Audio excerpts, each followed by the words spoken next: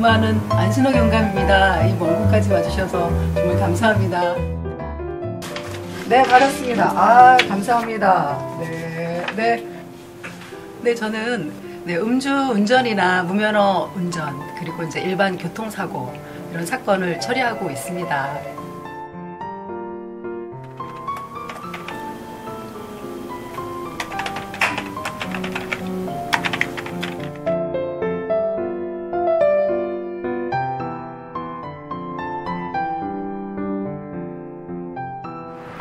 저희 팀장님이 뭐 소문에 하면은 한 20여 년간은 독종으로 뭐 불리셨다고 들었는데요.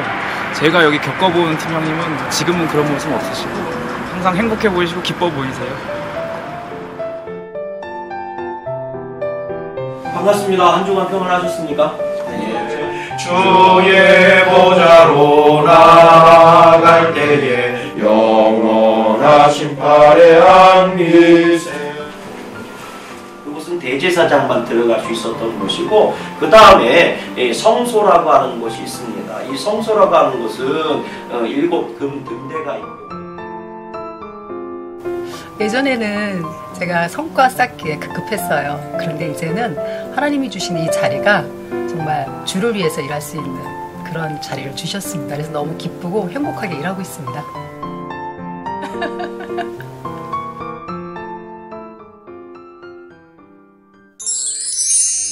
여러분 안녕하십니까 새롭게 하소서 김학중 목사입니다. 안녕하세요 김정아입니다.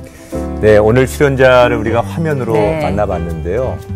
어, 정말 민중의 지팡이라고 네, 하죠. 맞습니다. 힘없는 사람들을 위해서 힘이 되어 주시고 옆에서 버팀목이 되어 주시는 희생하시는 네. 귀한 분들입니다. 우리 사회의 작은 영웅이라고 불려지는 경찰관과 함께 하려고 합니다. 네, 아우 저도 모르게 좀 왠지 네, 자세를 아우, 반듯하게 네. 해야 될것 그러셔야 같은 됩니다. 그러셔야 됩니다. 느낌이 드는데 네. 강원도 양구 경찰서 안순호 경감님 나오셨습니다. 안녕하세요. 안녕하세요. 어서 오세요. 네, 아. 어, 각이 살아 네, 있습니다. 네, 네. 아, 이거, 이거, 이거 잘하기 아, 어려운데. 그러니까요. 아, 예. 근데 평상시엔 이거 많이 안 하시죠? 많이 하지 않습니다. 네. 아니, 저는 오늘 제복을 입고 오시는 줄 알았는데. 네. 딱 그 모습이어도 너무 잘 어울리시네요. 아, 감사합니다. 같이 다니십니다. 네. 그 차림에 하셨는데 딱 포스가 딱 느껴지셨어요. 네. 어. 감사합니다. 아니 새롭게 와서 오늘 출연해 주셨는데 네. 마음이 어떠세요? 좀 긴장되세요? 조금 긴장은 되는데요. 네. 이곳에도 하나님께서 함께 하시기 때문에. 네, 네. 정말 또 편안하게. 범인 잡을 때하고 방송할 때하고 어떤 게 더 긴장되세요? 아무래도 범인을 검거한다는 것이 살아, 사실은 이제 자기 생명과도 또 네. 아, 직결이 그렇죠. 되잖아요. 네. 그러니까 아무래도 긴장이 더 하죠. 그렇죠. 그렇죠. 네. 네. 여기는 편안하셔야 됩니다. 네. 네.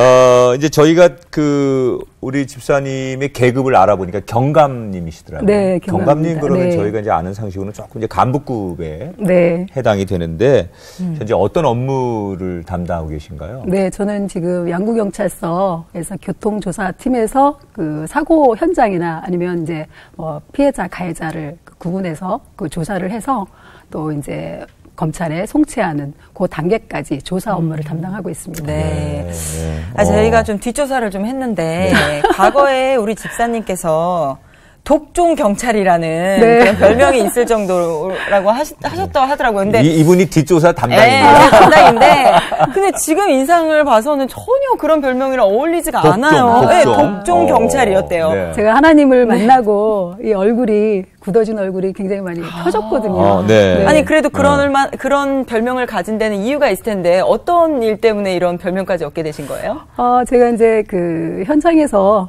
어 이제 처음 이제 뭐 사실 이제 여경 그 당시 저희가 이제 들어올 때는 네. 여경이라는 그 숫자가 굉장히 적었어요. 네. 그래서 생소했고 그래서 아마 그런 아마 욕심도 생겼던 것 같아요. 네. 그러니까 이제 여자와 남자 이런 그 비율에 있어서 이제 남자 경찰을 사실 영역이 굉장히 강인하고 네. 그리고 또 이제 또 이제 거친 업무잖아요. 네. 근데 이제 여성들은 좀 아무래도 남성들을 좀 따라갈 수 있는 힘이 좀 딸리다 보니까 네.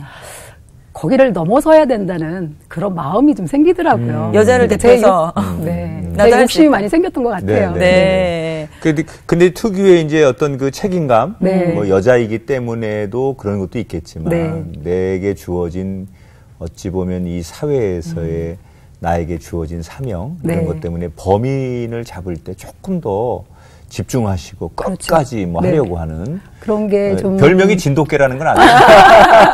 그랬습니다. 네, 네, 제가 이제 어. 현장에서 네.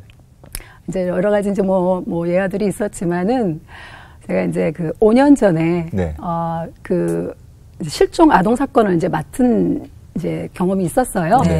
네. 그때 그 아이를 이제 찾기 위해서 어 이제 그 현장 이제 최초의 유기된 장소 그리고 그 피해자 부모들을 이제 만나면서 이제 하나하나 이제 찾아가기 시작을 했는데 제가 이제 피해자 부모를 이제 만나서 면담하는 과정에서 네.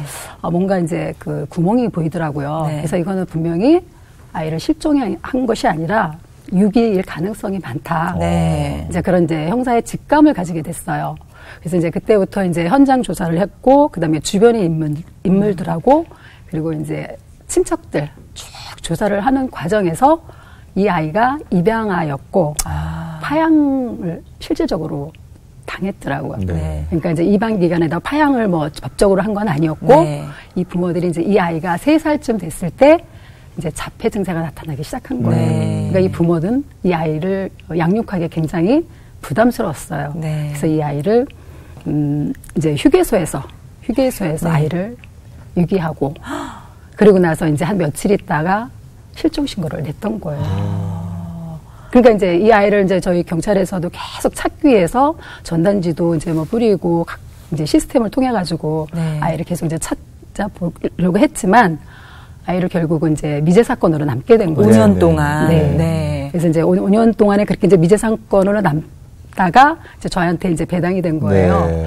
그런데 이제 그렇게 찾다 보니까 결국 아이를 그렇게 유기했고 어. 그러는 과정에서 공소시효는 지났고 아. 실질적으로 뭐 입건해서 처벌은 하지 못했습니다. 네. 그래서 굉장히 안타까운 사건이었어요. 네. 안타깝기도 하지만 좀 네. 이렇게 이게 공소시효는 지났지만 네. 엄연한 범죄고 음, 특히 그렇죠. 어린 아이를 향한 그렇죠. 범죄였기 맞습니다. 때문에 굉장히 네. 이제 좀 마음도 아프시고 굉장히 마음이 아프죠. 네. 왜냐하면 저도 이제 그런 아이를 키우는 엄마의 네. 입장이잖아요. 음. 그러니까 너무 마음이 아팠고 아이는 그러면 어디에 나중에 음. 발견이 됐나요? 네, 아이를 이제 저희들 찾게 됐고, 네. 그 아이가 그 장애 그 기관에서 아이가 잘 자라고 있었습니다. 아유, 다행이네요. 네. 네, 네, 네. 아니 독한 경찰로 통하게 된 에피소드가 이거 하나만 있지는 않았을 네. 것 같거든요. 뒷- 뒷조사에 나와 있으니까. 네, 이게 네. 여러 개가 좀 네. 있었는데 너무 많았어요. 네. 너무 그 중에 많은데. 에피소드들을 좀 소개해 주신다면 어떤 게 있을까요? 어, 이제 왜 지나간 일은 이미, 이미 끝났잖아요. 네, 그럼요. 아예 다 끝난 일이니까요. 에피소드니까 네, 저희가. 네, 네. 이제 그 이제 원주에 이제 어, 어떤 증거를 찾기 위해서 이제 그것도 이제 아동 성범죄 사건이었어요. 네. 그 증거를 찾아야 되는데 음. 제가 이거 이거를 꼭 해결해야 되고 그 싶은 마음에 네. 하루에 세 번씩이나 음. 세 번씩이나 왕복을 하면서 아. 그때가 굉장히 더운 여름이었어요. 네. 네. 근데 그게 지칠 줄 모르겠더라고요. 왜냐면은 어. 이 증거를 통해서 반드시 범인을 잡겠다는 그런 의지가 있었어요. 네. 그래서 직원들이 보기에는 아, 내일 해도 되는데 어. 왜 오늘 꼭 세 번씩이나 왔다 갔다 해. 그러니까 제가 막 추진 있게 하니까 하루에 세 번씩 왔다 네. 갔다 하는 맞습니다. 거군요. 네. 그러니까 저도 뭐 참 그때 왜 제가 그렇게 열정을 했는지 네. 아, 지금 생각하면 그러니까 경감님 되시는 아, 그러게요. 아, 정말. 아니 보통 이제 민중의 지팡이라고 하잖아요 경찰을. 네. 그러면 이제 대개는 그런 공직에 계신 분들이나 또 귀한 일을 하시는 분들 보면 어릴 때부터 어 많은 그 사람들의 꿈이 나는 경찰이 될 거야. 네, 나는 뭐 네. 이런 사람 소방관 될 거야 이런 꿈들을 갖잖아요. 그렇죠. 네. 집사님도 어릴 때부터 난 경찰관 돼야지 이런 꿈이 있으셨어요. 저는 경찰에 대한 꿈은 없었어요. 네. 저희는 이제 어렸을 때부터 이제 교사에 대한 그런 마음은 있었어요. 네네. 근데 저희 이제 형부가 경찰관이셨거든요. 아. 그래서 제가 이제 대학을 다니다가 이제 잠시 휴학을 하고 있는 중에 형부가 갑자기 시험이 있다는 거예요. 여경 시험이 있다는 네. 거예요. 어, 저는 이제 여경이라면은 뭐 우리 수사반장에 나오는 음. 우리 그 여승역 네. TV에서만 봤을 뿐이지 제가 그 실제 뭐 본 적이 없는 거예요. 그렇죠. 근데 여경 시험? 어 근데 괜히 가슴이 뛰는 거예요. 네. 그, 아, 그럼 한번 볼까? 그래서 그때 도전을 한번 했습니다. 어, 그러면 그때 도전해서 그게 시험에 붙었나요? 네, 시험에 합격이 됐습니다. 야. 그러니까 어찌 보면 형부의 말 한마디 때문에 네. 그러게요. 어, 어. 여경, 어, 그거 한번 해볼까? 뭐 이러면서 시작이 된 네, 것이 그렇습니다. 운명적으로 나의 이제 그러게요. 이 경찰 공직 생활이 시작되신 거네요. 근데 네. 아까도 말씀하셨지만 그때 당시에는 여경들이 많지 않았고 네. 여자들이 경찰이 되는 경우가 드물었는데 그렇기 때문에 경찰 생활을 내가 꿈도 없, 없었던 것도 있었고 네, 적응하는데 좀 쉽지 않으셨을 것 같은데 어떠셨나요? 쉽지는 않았죠. 왜냐면은 저희 강원도에 여경들이 한 10명 정도 제가 들어올 때. 그거밖에 안 네. 됐어요. 네, 어. 너무 없었어요. 그러니까 어. 제가 여경을 볼 수가 없었죠. 제가 뭐 잘못을 했거나 그러면 경찰서를 가야 되는데 네. 착하게 살았기 때문에 갈 일도 없었고 갈 일이 없었습니다. 그러니까 어. 제가 어, 경찰 되면 어떻게 해야 되나 사실 막연하기는 했어요. 네. 근데 대부분 이제 여경들이 그 당시에는 많지를 않으니까 보통 민원실에서 뭐 교통 업무 이런 민원 업무 이런 업무를 많이 맡고 있었어요. 네. 그래서 이제 저도 첫 업무가 그 속초 공항에서 사실 근무를 시작하게 했어요. 네. 네, 그때는 어, 어떤 경찰의 본연의 업무 범인을 잡거나 뭐 이런 업무는 아니었었죠. 네. 민원인들 상대하는 업무들. 그렇죠. 네. 이제 아까도 말씀하셨지만 여경이 많지 않은 상태에서 됐는데 네. 이게 정말 잘해야 된다라고 하는 그런 생각을 자꾸 갖다 보면 네. 그게 이제 스트레스가 되거든요. 지나친 부담감, 그렇죠. 강박증 네. 이런 것 때문에 그냥 해도 될걸 음. 잘해야 된다는 생각 때문에 그렇죠. 본인이 괴로운 거죠 나중에. 그렇죠. 그런 왜냐면 과정을 겪으셨을 것 같아요. 세상에서 다 자기를 드러내고 싶어 하잖아요. 네. 내가 최고가 되고 싶어 하는 그런 욕심으로. 음. 그러다 보니까 정말 이게 하나님의 주시는 그 능력으로 해야 되는데 음. 제 욕심이 들어가다 보니까 그게 나중에는 스트레스를 받고 얼굴은 굳어지고 음. 그러다 보니까 또 가정에서도 음. 저도 모르게 왜냐면은 그, 그 조직이라는 데야 남성들의 그 조직 그렇죠. 문화인데 그리고 그 많은 열 몇 명이 되는 그 직원들 중에 저 혼자잖아요. 그러니까 이게 닮아가는 거예요. 어, 그렇죠. 그러다 보니까 그 분위기가. 네, 그 어. 분위기에 젖어서 저도 과묵하고 어. 얼굴은 굳어지고 어. 그러니까 웃음기도 없고 그러니까 기쁨이라는 게 없는 거죠. 그게 보면. 사라진 거죠. 네. 오직 아 사건을 빨리 빼야지 그런 성취욕은 생기는데 네.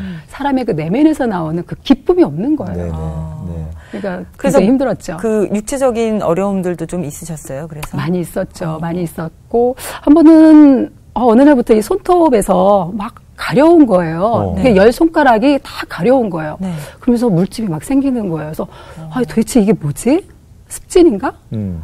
그래서 이제 병원을 한번 찾아갔습니다. 그래서 선생님께서 아니 직업이 뭡니까 물어보는 거예요. 네. 그래서 아 제가 경찰관입니다. 이렇게 얘기를 했더니 그 선생님도 사실 경찰관들은 여자 경찰관은 접하지를 않으셨는데 아, 도대체 어떤 부서에 있는데 도대체 이렇게까지 스트레스를 받느냐. 어. 그래서 그때 아 이게 엄청난 스트레스를 통해서 음. 이게 정말 이 밖으로 이게 배출이 되는구나. 그렇죠. 그때 네, 제가 네. 알게 됐어요. 보이진 않지만 속 안에는 지금 계속 건강이라든지 네. 심리적으로 많이 무너지고 있는 상태. 그렇습니다. 네. 그러니까 육체적으로도 힘들지만 사실은 심리적인 것, 네, 네, 정신적인 것도 굉장히 많은 에너지를 소비하게 되잖아요. 네, 범인을 맞습니다. 잡는 일에. 네. 그러다 보니 또 몸에 이상도 생기시게 되고 하셨는데 그렇죠. 그래도 이렇게 독하다 할 정도로 경찰 네. 업무에 또 열심히 하셨어요. 네. 그러다 보면 또 빨리 인정도 받게 되고 승진도 하게 되고 네, 네. 이제 그런 상황들이 오잖아요. 네. 우리 집사님도 그런 수순을 좀 밟으셨나요? 어, 제가 이제 정말 열심히 일을 하다 보니까 음. 또 인정도 받게 되고 또 그로 인해서 도 승진도 하게 되었어요. 네. 그래서 어, 또 새로운 부서로 음. 또 착출이 되었어요. 네. 그래서 그때 간 곳이 어, 여경기동 수사대라는 그런 팀으로 가게 됐습니다. 네. 그래서 그곳에서 아무래도 이제 외근 활동을 많이 하다 보면 출장도 잦아요. 네. 그러다 보니까 저희 초등학교 다니는 저희 두 딸이 있습니다. 네. 그 당시에 초등학교 네, 네. 그 딸애들에게 좀 마음을 많이 주지 못한 것 같아요. 어, 네. 그렇죠. 아무래도 엄마의 부재가 아. 아이들한테는 좀 음. 심리적으로 어려울 수 네. 있죠. 음. 네. 그 사실은 이제 뭐 집사님뿐만이 아니라 일하는 엄마들 아. 워킹맘이라고 그렇죠. 하는 네네. 일과 육아를 같이 병행한다는 게 쉽지 네. 않거든요. 어 이제 그러다 보면 이게 이제 믿음 생활이 더 잘해서 영적으로 충만해서 이겨나야 되는데 그렇죠. 아까 말한 대로 네. 이 공직 생활에서 경찰이라고 하는 업무 또뭐 사건을 해결해야 되는 그런 강박관념 이런 네. 것들이 있다 보면 이게 두 가지를 동시에 다 잘할 수는 없다는 네, 말이에요. 굉장히 그러다 어렵습니다. 보면 패턴 자체가 신앙생활하기에는 조금 어렵지 음. 않았을까? 어떠셨어요? 굉장히 어려웠죠. 너무 어려웠고 제일 먼저는 제가 이제 이렇게 외, 어, 제 업무를 우선시하다 보니까 네. 아이들에게 굉장히 소홀하게 됐어요. 네. 음, 뭐 잦은 출장 그리고 그러다 보면 또 밤을 새야 되는 경우도 또 종종 있었고요.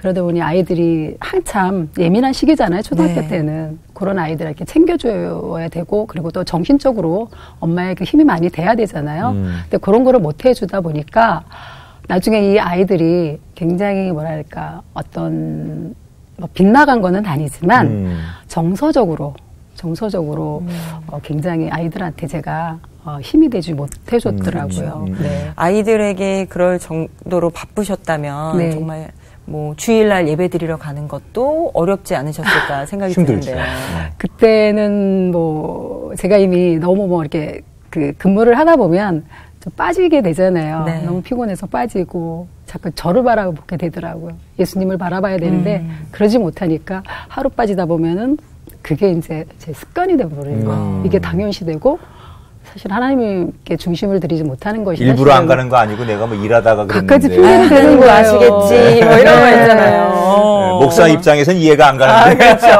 그러면서 제가 정말 교회에서 점점 점점 멀어지게 됐고 네. 네. 그럼 우리 집사님 언제부터 믿음 생활을 좀 시작하셨나요? 음, 제가 이제 고등학교 2학년 때 네. 아, 친구를 따라 이제 부흥회 한번 참석한 적이 있어요. 네. 네. 아, 그때 이제 아, 정말 교회를 딱 들어갔는데 그때 한참 부흥회 때니까 그 교회 안에서는 막 주여 하면서 두 손을 네. 벌리고 뜨겁게 그리고 막. 막 뜨겁게 막 그 뭐라고 하고 막 이렇게 또 하고. 네. 그러면서 막 눈물 흘리는 거예요. 저는 이게 뭐지? 처음 갔는데. 네. 그러니까 제가 저는 뭐 교회에 대해서 잘 모르고 그리고 그것이 뭐 어떤 기도인지도 모르니까 네. 저는 너무 놀랬던 거예요. 네. 그래서 제가 중간에 그냥 뛰쳐나올 수밖에 네. 없었어요. 네. 그래서 그때 이후에 아 그게 너무 큰 게 저한테는 정말 다가왔기 때문에 그 이후에 이제 아마 교회를 아마 이렇게 좀 이렇게 좋게 보지 않았던 아, 그런 악한 네. 중심을 갖고 있었습니다. 어, 그럼 한동안은 뭐 거의 교회와 떨어져서 음. 무관하게 지내셨던 거네? 그렇죠. 왜냐하면 저희 집안에는 이제 그 믿는 사람이 없었고 네. 또 제가 친구 따라 갔지만 그게 이제 좋은 모습으로 저한테 어, 첫 다가와서. 갔어야 되는데 어. 그러한 그 좋은 인상을 못 받아서 제가 네, 그럴 수 있어요. 네, 그렇게 해서 네. 저는 실제적으로 이제 신앙생활은 하지 못했고요. 네. 제가 이제 결혼을 하고 나서 네. 네. 결혼을 하고 나서 이제 어, 저희 시댁에 이제 저희 큰아이를 맡겼어요. 음, 그래서 돌봐줄 사람이 없어서 네. 큰아이를 이제 맡기고 일주일에 한 번씩 이제 주말에 되면 이제 시댁을 찾아뵙고 또 아이를 돌보고 그리고 이제 또 다시 내려오곤 그런 이제 생활을 했었거든요. 네.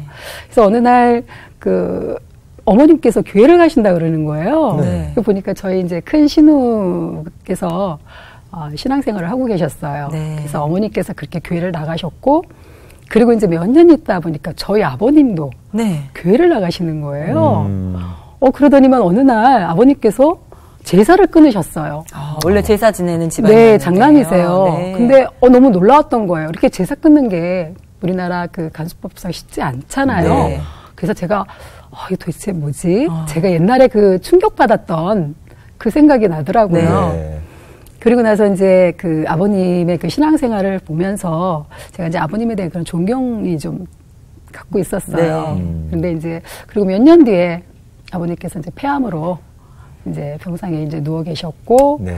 그러는 가운데 그 굉장히 그 심하시잖아요. 그 마지막 때. 네. 고통이. 네, 그런데도 성경책을 꼭 들고 계셨고 다른 사람한테 피해를 안 주시려고 진짜 그 아픔을 참아가시면서 그런 모습에 이제 하나님이 그 마음을 제 마음을 열어주셨더라고요. 네. 네. 그리고 이제 아버님 장례를 치를 때 교회에 대해서 교회 장례장을 치르셨거든요. 근데 너무너무 아름다운 거예요. 아, 교회가 이런 곳이구나. 왜냐면 함께 아픔을 갖고 있고, 음. 그리고 함께 또 모든 것을 함께 하는 것을 그걸 보면서 하나님이 교회가 이런 곳이구나. 라는 걸 보여주셨고, 그리고 아, 이게 죽음이 끝이 아니구나. 음. 그러니까 저희 어머님이 힘이 나신 게 이게 끝이 아니고 우리가 다시 그렇죠. 다시 천국에서 만날 수 있는 그런 소망을 그거 갖고 있으니까 아 정말 정말 예수님을 믿어야 되겠구나. 음. 아, 그때 하나님이 저한테 그런 그 눈을 열어주셨더라고요. 네. 그 고등학교 때 그렇게 좀 첫 이미지가 조금 안 좋았었는데 그렇게 이제 결혼하고 나서 네. 그 아버님 장례 과정 이런 거 지켜보면서 네. 네. 마음이 좀 열리셨 네. 예, 열리셨는데 그럼 열심히 그때부터 신앙생활을 하셨습니까? 음, 그래서 이제 교회를 가기는 갔지요. 네. 갔는데 이제 제가 그 당시 근무하는 부서가 그 상황실에서 근무를 했었어요.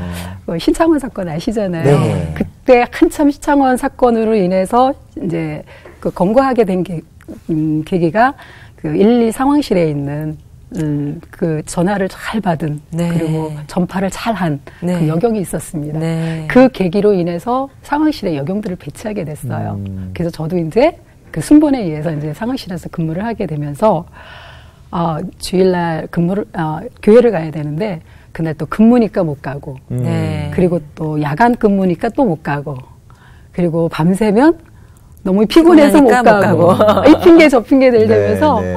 제가 교회를 그러면서 이렇게 서서히 서서히 멀어지게. 이 악한 중심으로 정말 네. 하나님을 제가 네. 멀리 했습니다.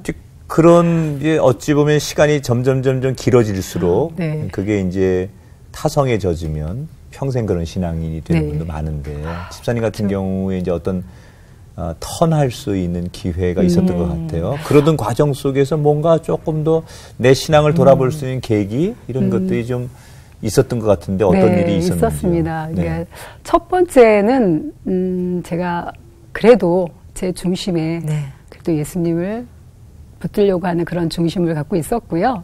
그런 가운데 저를 위해서 기도해 주시는 분이 너무 많았어요. 네, 네. 맞아. 그 기도가 네. 그게 끊이지 않기 때문에 제 중심을 그래도 예수님 쪽으로 이렇게 바라보게끔 네. 해주셨더라고요. 우리는 이제 보통 내가 결심해서 교회에 나간다고 생각하지만 알고 보면 내가 그러기까지 뒤에서 몇 년 동안 또는 네. 10년 동안. 나를 위해 새벽마다 기도하고 내 네. 이름을 불렀던 수없는 중보자들이 있더라고요. 네. 그 그렇죠, 하나님께서 그렇죠. 반드시 응답을 주시더라고요. 집사님 같은 경우는 어떤 분들이 이렇게 기도를 많이 해주셨어요?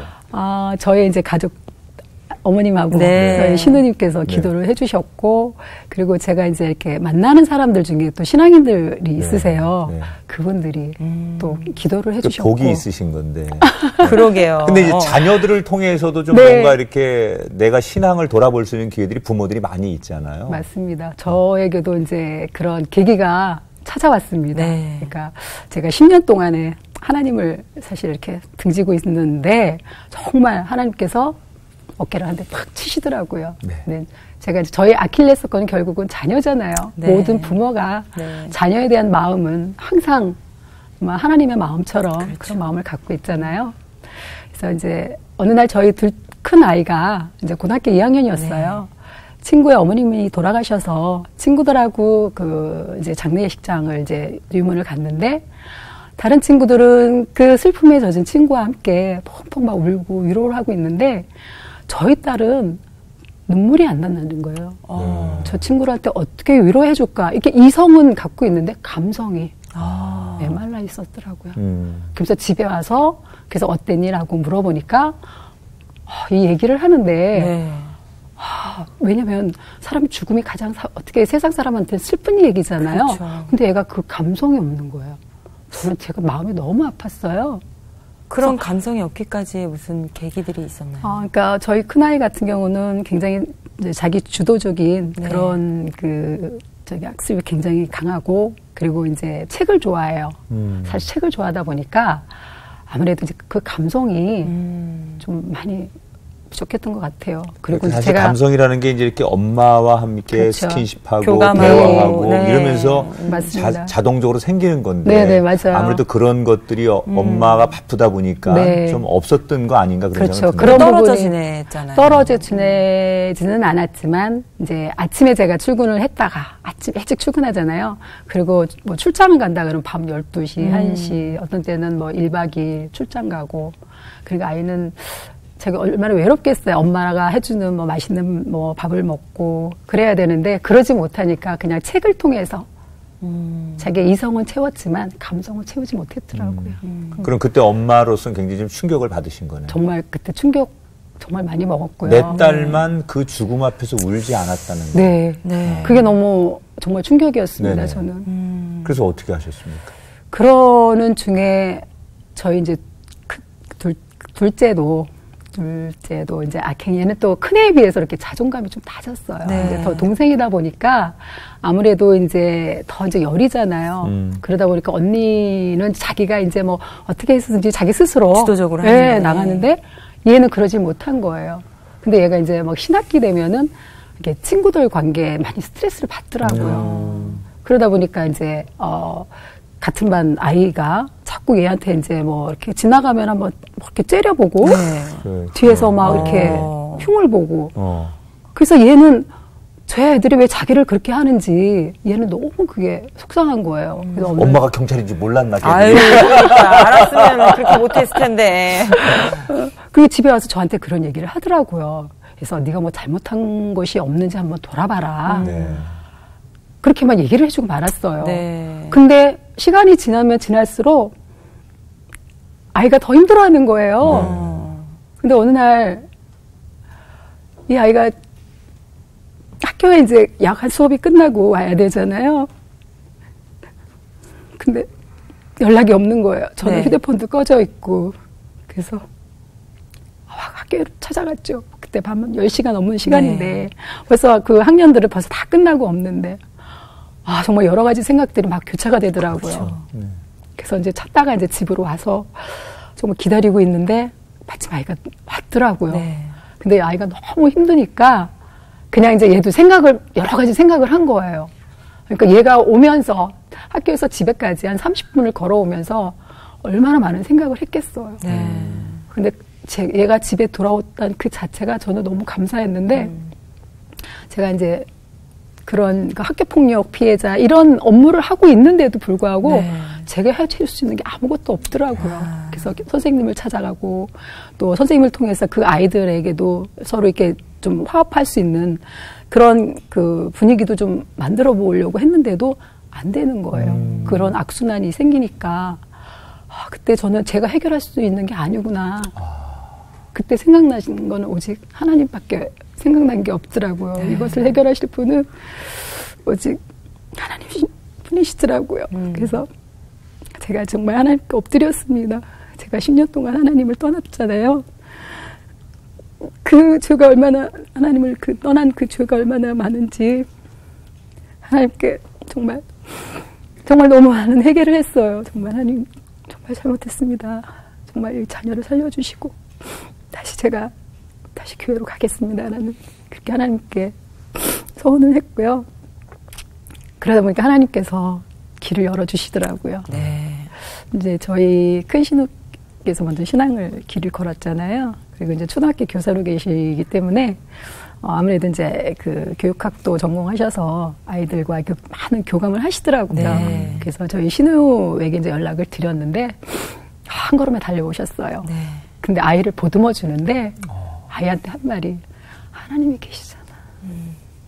하나님이 빽이잖아 하면서 아이를 더 보듬어 주는 거예요. 음. 아, 정말 그러면서 아이의 마음이 확 녹아지는 거예요. 어. 하나님이 그 빽이라는 그 말에. 음. 어. 그러면서 이제 조금씩 조금씩 이제 그 아이들이 뭐 지나가면서 뭐 응? 음. 이렇게 네. 음, 해도 음 그런 그런가 보다. 네. 그래서 그 마음의 성취를 굉장히 많이 덜었습니다. 음. 그러면 그때 그 자녀들의 일로 다시 네. 하나님께 서원하고 네. 주님 제가 주님 곁으로 가겠습니다라고 네. 고백하시고 그 이후로는 그러면 음. 신앙생활을 잘 이어오신 거예요. 음, 그래서 제가 하나님께 기도하기를 하나님 제가 정말 하나님께 정말 나갈 수 있는 교회를 찾게 해달라고 그래서 그런 기- 기도를 드렸어요. 네. 어, 그런 중에 제가 이제 그 여성 피해자 지원센터라는 곳에 근무를 하게 됐어요. 네. 거기서 이제 피해자 지원을 하는 부서인데 저희 이제 경찰과 상담과 의료진들 이렇게 이제 같이 근무를 하, 고 있는 곳이거든요. 그곳에서 이제 진술 그 분석 전문가들이 있어요. 네. 이제 네 분이 저희 이제 센터에서 이제 근무를 하셨는데 그분 중에 한 분, 한 분이 딱 음. 눈에 뜨는 거예요. 네. 그렇다고 이제, 이제 나이 차이도 있으니까 음. 그렇다고 그냥 뭐 인사 정도만 하고 그랬거든요. 네. 어, 근데 그 자매님이 참 이렇게 선한 마음에 제 눈에 자꾸 들어오더라고요. 네. 근데 이제 어느 날 이제 저희 이제 회식을 하게 됐어요. 했는데 한 선생님이 얘기를 하시는 거예요. 그러면서 그 진술 분석 분석가 선생님이 얘기를 하면서 그 선생님이 서울에서 춘천까지 교회를 온다는 거예요. 네. 주로 자기 주거지에서 교회를 그렇죠. 다니는데 아 도대체 이게 뭘까? 왜 가까운 교회를 안 가고 음. 서울서 춘천까지 주말마다 교회를 오지? 그게 너무 궁금했어요. 네. 근데 제가 그 자리에서 바로 전화를 했습니다. 회식을 하다 말다. 네. 어, 뭔가, 뭔가 있는 것 같은 거예요. 그래서 전화를 해서, 아, 제가 이름을 얘기해도 될까요? 네. 네. 에스더, 네. 에스더의 이름이, 에스더, 그 교회가 어디야? 하고 물어봤어요. 그랬더니만은, 어, 동면 어디 어디에 있는 음, 곳에 있다 하더라고요. 근데 나 주말에 그 교회 한번 가고 싶은데, 네. 가도 되느냐. 먼저 프로포즈 하셨네요. 네. 그러니까 하나님께서 보여주신 것 같아요. 사람을 통해서 보여주신 것 네. 같아요. 그래서 정말 그 3일이란 그 시간이 저에게는 정말 한 달이란 시간이었던 것 같아요. 네. 그래서 어, 주일날 제가 한 걸음에 그 교회를 찾아갔습니다. 네. 그래서 아, 제가 그 교회에 가서 음, 본당에 딱 들어갔을 때 제가 다른 거는 생각이 안 나고 음. 그냥 일방적으로 그냥 하나님이 주시는 그 감격과 그리고 정말 하나님이 저에게 그 따뜻한 정말 그 따뜻한 눈물로 제가 그냥 하나님께 그냥 그냥 감사의 눈물밖에 제가 흘린 기억이 네. 없어요. 아. 지금도. 그러면 그렇게 해서 정말 나의 하나님, 부활의 주님으로 내가 정말 받아들이고 네. 그러면서 또 전혀 다른 거죠. 그 전에 교회 다니는 신앙생활과 그런 체험이 있은 다음에 네.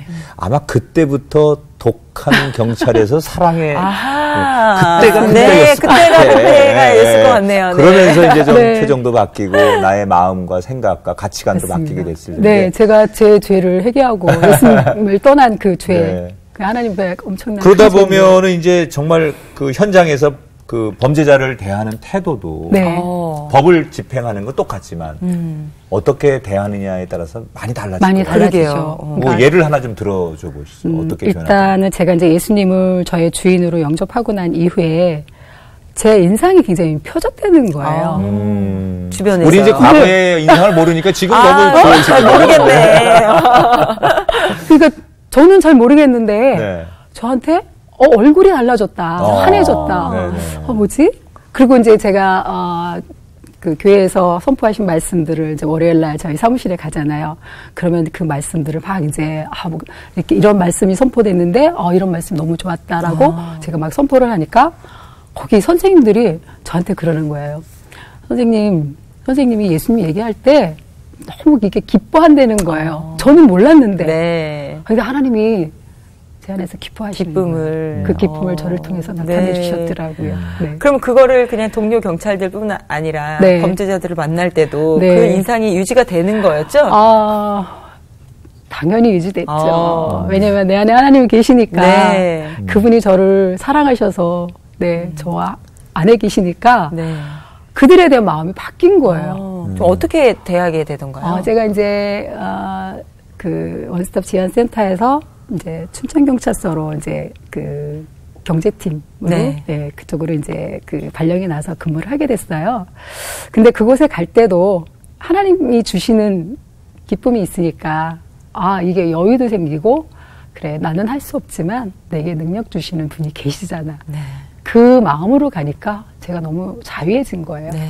그래서 거기서 사건을 하다 보면 그 전하고 너무 다른 거예요. 네네. 예. 그러는 과정에서 한 범죄자를 만났습니다. 네. 네. 그래서 아 정말 제가 이제 그 기도를 하면서 그리고 이제 그 친구를 만났는데요. 아 정말 한 순간에 그 영혼이 너무 불쌍해 보이는 네. 거예요. 어떤 범죄를 저질른 음. 청년이었나요? 이제 그 성범죄였어요. 네. 네. 그런데 제가 예전 같으면 네. 어쩌겠어요. 뭐 눈을 탁 뜨고 어. 뭐 독하게. 독하게 네. 하죠. 그 죄를 추궁하고 그렇죠. 그렇죠. 예, 인정도 없이 그냥 어. 뭐. 그런데 하나님께서는 저한테 그 마음을, 그에 대한 마음을 막 확 주시는 거예요. 강권적으로 네. 주시는데요. 너무 불쌍한 거예요. 근데 제 안에서 막 정말 그 눈물이 막 쏟아지는 거예요. 네. 그 당시에 열 몇 명 조사관들이 쫙 있는데 어제 어, 이런 너 왜 이러지? 어, 어. 뭐야? 하면서 막 이러는데 네. 아닌 거예요. 이거는 저 제가 하는 게 아니었더라고요. 그래서 제가 그 친구한테 했어요. 너왜 그랬니? 왜 그랬니? 그러니까 그 친구의 말이 사랑받고 싶었다. 관심 받고 싶었다. 음. 그때 제가 많이 무너졌습니다. 그때 제가 아 정말 조사를 받을 수가 없겠더라고요. 그래서 제가 이제 조사를 잠깐 멈추고 저는 이제 진정을 해야 되니까 네. 도대체 이게 뭐지 하면서 그래서 내가 이제 조사를 이제 잘 그래도 이제 마치고 나서 너 행복해지고 싶지 않니? 음. 그러니까 그 친구가 행복해지고 싶대요. 그래서 제가 그 자리에서 예수님 얘기를 했습니다. 네. 예수님 믿으면 예수님이 너의 행복을 모든 것을 주신다. 그러니까 이 친구가 그 말에 수긍을 하더라고요. 네. 그래서 그 친구가 이제 예수님을 믿게 됐고 네. 네. 지금은 이제 신앙생활을 잘그 하고 지금도 있습니다. 간혹 이렇게 음, 그뭐 뭐, 하나님 안에서 교제가 계속 됩니까? 만남이 있었고요. 그 동안에 이제 중간에 사실 이제 아픔은 있었어요. 네네. 아픔은 있었지만 계속 이제 편지로 예, 편지로 이제 교제도 하고 네. 음, 그리고 이제 그 친구가 이제 음, 이제 저를 이제 찾아왔죠. 네. 예, 찾아왔고 그리고 지금은 이제 정말 정말 사랑받는 곳에서 건강한 네. 사람이 됐고 네, 어. 너무 귀한 사람이 되었습니다. 너무 고마워하겠네 그 친구. 그러게요.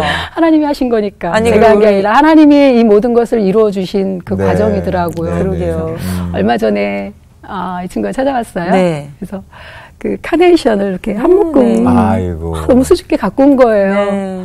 아, 근데 그게 정말 저에게는 어떤 보석보다도 귀한 어떤 꽃이었습니다. 네. 제가 그렇죠. 받은 꽃 중에서 네. 가장 아름다운 꽃이었습니다. 아, 집사님이 변화가 되니까 그런 열매들이 또 따라오게 되네요. 네. 음. 근데 이게 경찰분들은 사실 위험한 순간에 많이 노출이 될 수밖에 없잖아요. 네, 맞습니다. 또 이렇게 범죄자들을 쫓다 보면은 그런 막 일촉즉발의 그런 상황들도 굉장히 많으실 텐데 그런 두려움 혹은 스트레스도 물론 내가 신앙을 가지고 있고 감사함이 있지만 그런 것들이 있을 것 같아요. 직업적으로. 너무나 많지요. 네. 너무나 많고 정말 요즘은 정말 내 생명을 내놓지 않으면 범인 검거에도 음. 그렇게 쉽지 않잖아요. 네. 정말 예수님을 정말 붙든 이런 삶이 아니면 네.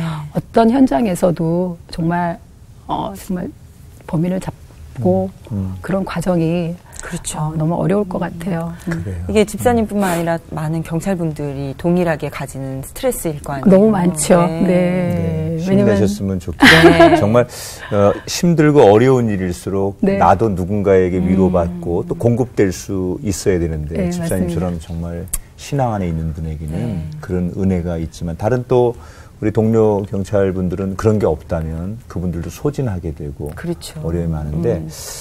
우리 집사님이 정말 이제 경찰 안에서 이렇게 복음을 가지고 또 선교하는 거또 많은 경찰 밖에 있는 네. 우리 수사를 진행하면서 만나는 분들에게 주님의 사랑을 전하는 것 그것이 하나님이 맡긴 사명인데 네. 어, 지금까지 살아온 것도 중요하지만 앞으로 내가 어떤 인생을 살아야 될까 네. 그리고 또 나름대로 어떤 꿈도 있어야 되는데 집사님에게 마지막으로 기도 제목과 혹시 뭐 여러 가지 계획들 음. 나눠주시면 그래서 하나님께서 저를 사용하시는 그리고 경찰관으로서의 이 자리를 주신 것이 무엇일까? 이건 하나님이 모든 인류를 사랑하시잖아요. 그래서 그 사랑하시기 사랑을 주시기 위해서 네. 우리와 함께 하시기 위해서 정말 하나님 저를 부르셨고요. 음. 그리고 그 제가 이제 경찰관이지만 많은 그 관계된 사람 사람들을 만나는데 네. 아, 이제 고재봉이라는 혹시 들어보셨나요? 네, 네. 목사님. 저희? 세대는 아는데 네. 이 세대는 잘 모르는 이름일 거예요. 네.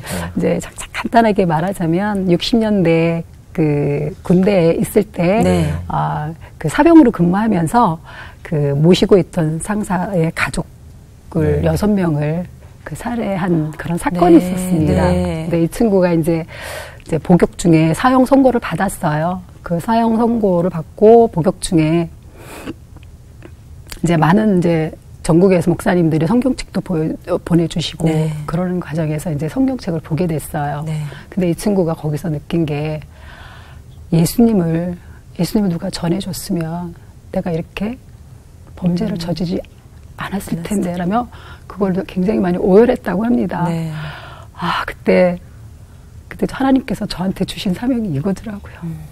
정말 예수님을 모르고 다 자기가 주인 돼서 다 자기 생각과 하고 싶은 대로 마음껏 하다가 이런 사람들에게 하나님이 그 영혼들을 살리고 싶어 하시는 그 마음 그때 제가 아 이- 이분들 정말 가장 가까이 만날 수 있는 사람들이잖아요. 그들을 살리고자 하는 하나님의 마음이 저를 이 자리를 세워주셨고 또 그들에게 복음을 전할 수 있는 그런 통로를 만들어 주신 것 같아요. 아니 오늘 경찰에 대한 이미지가 다 이렇게 또 바뀌어서 아유, 큰일이네. 그러니까요. 아유. 아니, 우리 집사님 정말 이전에는 지독한 경찰관에서 네. 네. 이제는 복음과 은혜를 나누는 사랑의 음. 전도자가 되셨어요. 네. 이 믿음 안에서 변화된 사람은 우리 집사님처럼 이렇게 삶의 증거들이 나타나기 마련인데 오늘 네. 이야기를 들으면서 과연 내 삶에는 우리들의 삶에는 어떠한 증거들이 있으며 음. 또 전도의 열매들이 얼마나 맺혀져 있는지 돌아보게 되는 시간이었습니다. 네, 흔히들 뭐 사람은 쉽게 변하지 않아 뭐 이렇게 음, 단정하고 그런 네. 얘기를 많이 하시는데 복음 안에 변하지 않을 사람은 없습니다. 맞습니다. 어떤 아멘. 죄인도 어떤 아멘. 과거도 복음 안에는 자유할 수 있고 변화할 수 있기 때문에 네. 복음을 가지고 사람을 변화시키는 일 음. 그것이 우리의 사명이지 않을까 생각합니다. 우리 귀한 집사님처럼 어, 그 자리에서 네. 또 저희는 저희의 자리에서 복음을 가지고 세상을 변화하는 그런 한 주간 행복한 인생들 되었으면 좋겠습니다. 오늘 집사님 너무 귀한 말씀 감사하고요. 집사님의 삶을 저희가 축복하고 응원하겠습니다. 함께 네. 해주셔서 고맙습니다. 고맙습니다. 고맙습니다.